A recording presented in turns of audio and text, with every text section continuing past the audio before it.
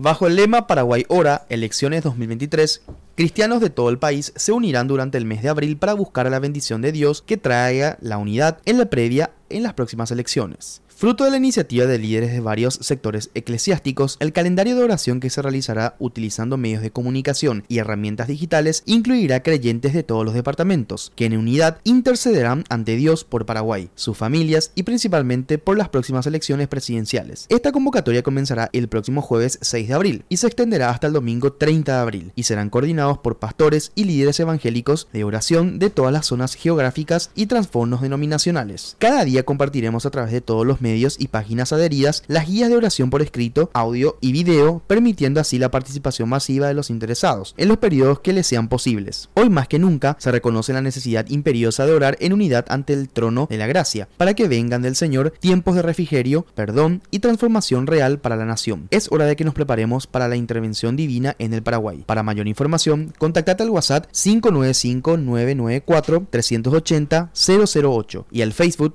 arroba RNOPY Red Nacional de Oración. RCC Noticias llega gracias a Cooperativa Chortizer, Cooperativa Fernheim, Cooperativa Neuland, FECOPROD, Inverfin Record Electric, Grupo Ilagro,